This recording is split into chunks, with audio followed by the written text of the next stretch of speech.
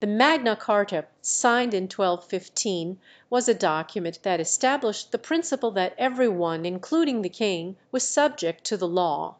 It also granted important rights to the English people, such as the right to a fair trial and the protection from arbitrary imprisonment.